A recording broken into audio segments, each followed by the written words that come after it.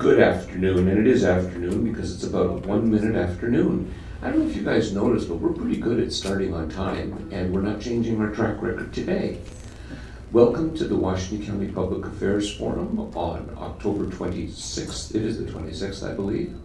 And we today have a wonderful program for you. We have Aisha Panas, the uh, Director of Parks and Recreation, and she'll be giving us a presentation, and then, of course, we'll be open to questions. Ladies and gentlemen, Aisha. Thank you. Very much. I am very pleased to be here today, and uh, thank you for the offer to come speak with you. Uh, I know you heard recently from my boss, uh, Dick, uh, Doug Menke. He's our general manager at the district, and he came in, I believe, spoke to you about our bond program. And while I have at least one or two slides today to talk about the bond program, um, that is not the primary uh, message of my presentation. What I wanted to talk to you about um, are sort of where we are past, present, and future with Tualatin Hills Park and Recreation District. Um, as was mentioned, I am uh, the Director of Park and Recreation Services for the district. I've held that role only for about six months now. Um, prior to that, I was the district's Director of Planning. And I've only been with THPRD for a little over two years now. Um, before that, I worked for Washington County for nearly 14 years. I was both a land use and transportation planner in the long range planning section there. So I've uh, been steeped in sort of the, the issues affecting Washington County as a result of the work there and at THPRD. Um, so I am um, in a, this new role and primarily um, working on the program side of things. And so in my capacity now, I manage the provision of programs in our aquatic centers, in our recreation centers, um, in our senior centers and our special events and activities, also natural resources, and our sports programs. So that includes all of the leagues and teams that we, we have at the district. So it's a pretty um, substantial departure from what I did before, but it's a lot of exciting and fun things to do. So I will um, give a short presentation of where we've been, where we are now, and where we plan to go as the district, and then I will be happy to answer any questions you might have. So to start, I'll use that maybe. Here we go. Um, we are celebrating our 60th year as a park district. We were established back in 1955 through the wonderful efforts of a woman named Elsie Stuhr, uh, who really was the ringleader of the effort to establish the district. She, um, she started this work when we had only two small parks and a tennis court and we served about 3,000 people within the Beaverton area. I put together some pictures that I found in our online records. Uh, we have some photos. These are from the 1950s and the 1960s, just showing some various ways that people recreated. We had some um, bike safety classes there in the upper left, um, also some field days and uh, learning to golf. So we, um, we saw a lot of that in those two decades. And when we moved into the 70s and 80s, well, number one, we er, entered the era of the color photo, so that was pretty exciting. Um, we also, you know, had a very robust aquatics program, and we um, saw quite the rise in field sports like soccer. Soccer continued to grow over the next several decades. Um, in the 80s, uh, we also, 70s or 80s, um, we also purchased land that ended up becoming our main recreational complex, the Howard M. Terpenning Recreation Complex. That's located at 158th and Walker. That's where I work, right in the building in the center of the two large buildings. Um, at the time, this was quite a controversial decision. This area of the county was seen as way out in the country. And, um, and so it was a controversial topic to have made that investment. But as we've seen over time, the community of Beaverton has really grown up and around this complex, and it's now really the center of our service area. In the 1990s and 2000s, we had the addition of another great facility on our um, complex at 158th and Walker, and that was in the upper left, you can see our athletic center. So that's an indoor facility where we offer a variety of uses. Um, it's wood floors, basketball primarily, but uh, there's also some pretty cutthroat badminton that occurs on a regular basis in there. Um, I take advantage quite often of the upper story walking track, which is lovely when we have short days and cold weather and rainy weather. Um, so I'm usually walking around that upper walking track and taking a look at all the activities that happen below. There's been volleyball and badminton and basketball and pickleball, and um, it's a great facility. Um, and in the upper right, you can see that's inside of that facility there. Um, and tennis also occurs on uh, the campus. It's one of the other large buildings. We have a tennis center. We also have a uh, 50 meter aquatic facility, in case you're not aware. So, bringing us to today, that 300 person service area back in 1955 has now grown to over 230,000 people. We have a boundary that is largely the same as the Beaverton School District boundary. And um, what you can see is a, a core service area. Everything in the yellow color is within our district. There's a line surrounding our district that is our ultimate service boundary. So if you look way up north, there's quite a lot of land outside of our existing boundary, but is within what we consider our ultimate service boundary. So that is largely Oak Hills, Bethany, Claremont area. And then down in the south, you can see there's a South Cooper Mountain annexation area. That land is in City of Beaverton. We are the City of Beaverton's um, provider of park and recreation services, so that is within our service area. But as development occurs, those lands will annex to our service district. So as of now, we have quite the slate of amenities. We have 90 parks. We have over 60 miles of trails. Uh, we have 162 natural areas that cover about 1,400 acres. We have a few nature parks, both uh, in the central part of our district, um, and that is the Tualatin Hills Nature Park. We also have the Cooper Mountain Nature Park down towards the south of the district. In addition, we've got a few dog parks. Um, we do allow dogs in most of our parks, not necessarily the more sensitive areas, but um, we do have a spread from the north to the south. We have an off-leash facility up at PCC Rock Creek. We have another one uh, just down the road at Hazeldale, and we have a third, our um, second most recent was the one at Winkelman Park, which is down off of 175th and Weir, I believe. Um, also, community gardens are a huge um, area, growing area for us. Um, they're not wanted necessarily in every community, so we work through that process every time we're um, developing or redeveloping a park. We ask the question of whether that's a use that is wanted.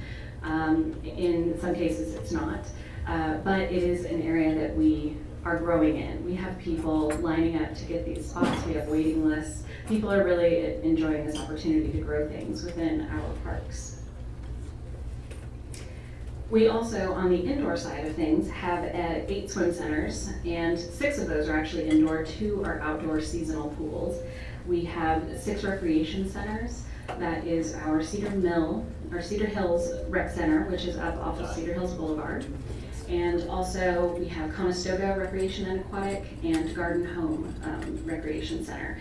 We have the Elsie Stuhr Center, which is um, a primarily 55 and over facility, and we have our athletic center and our tennis center on the main campus. So in terms of our outdoor areas, we have a lot of fields, a lot, a lot of fields. Um, our sports fields include both multi-purpose, which we can run lacrosse, soccer, football, all those activities on those same fields, and typically that coincides with seasons so that we don't have a lot of overlap, but sometimes that occurs. We also have baseball and softball fields, and then we have um, 108 tennis courts across the district, and those are located both indoor, um, primarily outdoor in our parks. So you may have heard uh, when Doug was here to talk about the bond that we're making great progress on this um, on this bond project list. We passed the bond in 2008. It was a $100 million bond. Um, At the time that bond passed, we had identified where all those dollars were going to be spent. We had different categories, we were covering a package of improvements that we wanted to make. So we had facility upgrades, we had land acquisition in a variety of areas. We wanted to both develop new parks that, on land that we had owned for a while, and some of which had been bought with 1994 bond funds. Um, But we also wanted to um, renovate our existing parks. So we have made really good progress on getting through all of these projects. So here are a few photos of recent projects that we have completed in the last couple of years. In the upper left, we have Hansen Ridge Park, and that is a brand-new neighborhood park. It's located in the Bethany area off- of Kaiser Road. And to its, uh, to the right of that is an image of a couple of kids looking over a bridge at Lowami Hart Woods. And that was a trail expansion project. That is our first segment of the South Johnson Creek Trail.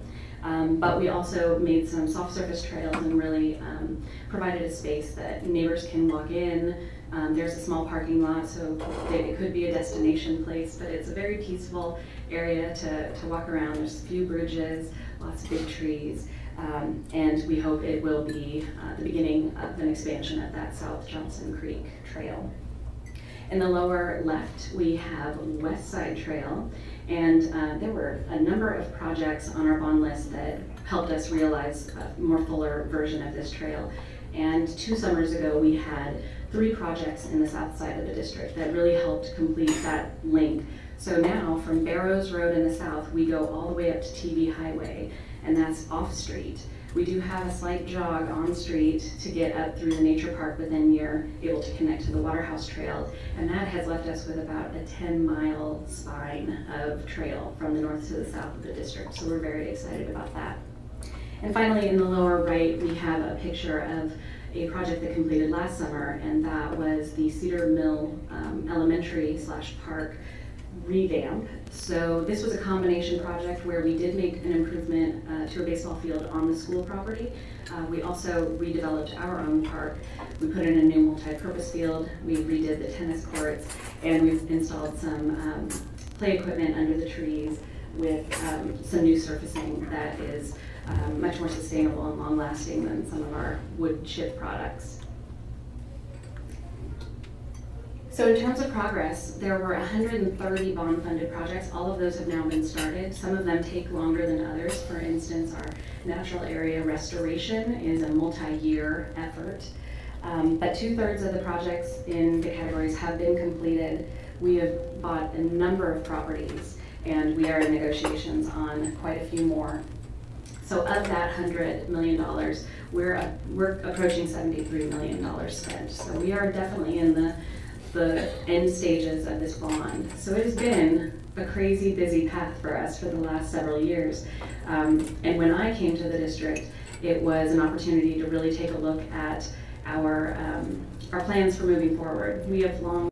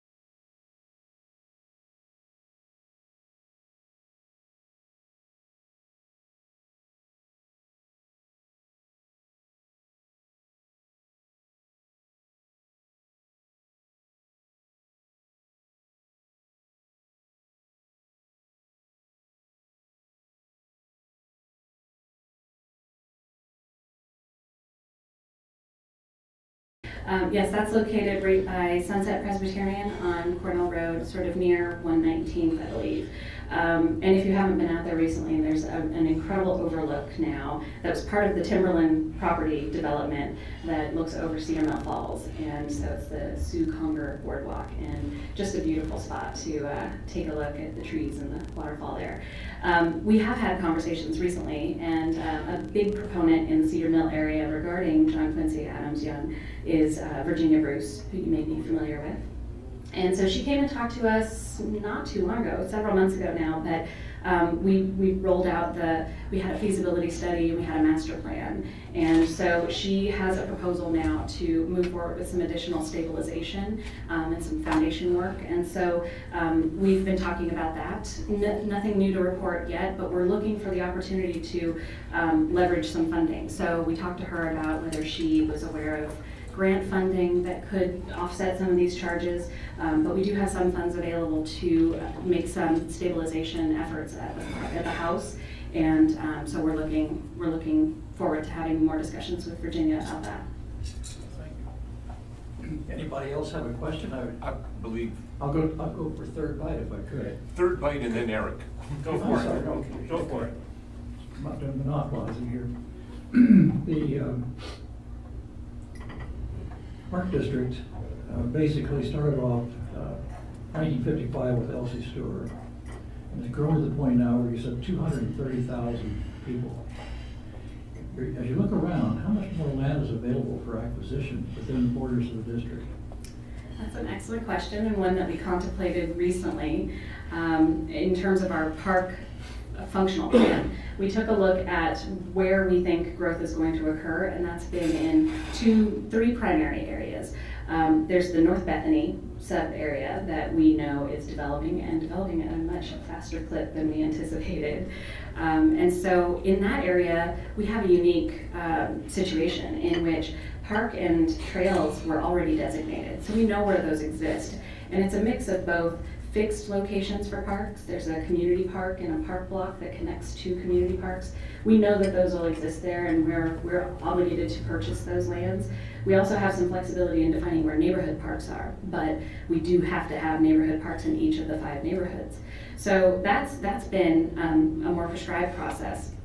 Down in the south, in South Cooper Mountain, we were part of the concept and community planning for that area, and it was left much more flexible. It was much more business as usual, where um, we know we need parks, we know we want to have uh, at least a few parks on either side of that major arterial roadway barrier of 175th. And so um, we've identified sites that kind of meet our criteria. They have a little bit of a flat land. Um, they might be adjacent to a school. That would be a bonus for us. We can really make good use of sites that are adjacent to schools. Um, and so that's one area that we know we need to make some um, purchases to support a level of service that is consistent throughout the rest of the district. And then there is a new area in the northeast of our area, which is um, Bonny Slope West. And so that's also an area that doesn't currently have any parks or trails. It's going to be an urbanizing area, and we will be the provider of service to that area. So, um, so we know those three areas are where we would need to move forward. Eric Squires, Executive Director. First, I'd like to thank you. Excellent uh, presentation, uh, very informative. Uh, Good job. Uh, Second, I'd like to ask about uh, something that our past treasurer participated in. Anthony Mills, I believe, is still on your bond oversight committee. One of the consistent themes throughout your PowerPoint uh, presentation was community involvement, and uh, it's something I'm very appreciative of. Would you tell me and the group a little bit more about uh, participation opportunities like the Bond Oversight Committee? What other committees uh, are publicly accessible uh, and participatory that the public should be aware of and potentially apply for to serve? Well, thank you very much for that uh, entree. We have uh, recently, as part of this overall comprehensive plan update, we've taken a look at some various policies, and one of those policies was our uh, advisory committee policy. We had eight different advisory committees, and some of them were very robust, others were struggling. Um, what we decided to do was really make an investment in the time and effort that people are spending and providing advice to us. And so we wanted to uh, dedicate resources, training, work program, goal setting with these groups. And as a result, we sort of condensed some of these down. So rather than the eight disparate communities, uh, committees, we now have three. And they are Nature and Trails, um, Programs and Events, and Parks and Facilities. So these three are now going to have an annual goal setting process in January. They're all going to meet on the same night. They will meet quarterly together, all three committees, so that we can share information, and build consensus among these groups. But it was an effort to really break down silos within our organization and um, have these groups have a more meaningful um, participation. And as part of that, we also wanted to um, have a board member, one of our elected board members, participate in each one of these committees. So we're really excited about what that's going to do. Um, we have filled all of our seats on the Nature and Trails Committee. We're approaching um, being full on the programs, I'm sorry, the Parks and Facilities group, and then we do need more people to volunteer for our um, programs and events. So um, if you are interested, our website has information about applying. We're hoping to get everyone established within the next two weeks, so you have a little bit of time, and I would encourage you all to um, take a look and see if that's something that you'd like to participate in. Thank you. Thank you again for a great presentation. The uh, Hillsboro Park and Rec is different than Tualatin Hills.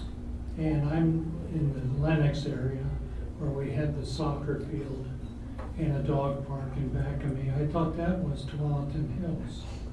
Well, we, we have sort of an irregular boundary between the city and the district. Um, we do come kind of out a little bit past 185th. Um, and then there's a large swath of land that is not yet within the city of Hillsboro boundaries, but it is not within the ultimate service boundary of our district. So I think I could probably pop back to our map. And you can see in the south, we kind of do drop um, further west. But we go to not quite 209th-ish. I think we, we stop short of that. So if you're in that area, you may not be within the city of Hillsboro, but you might not also be in Tualatin Hills Park and Recreation.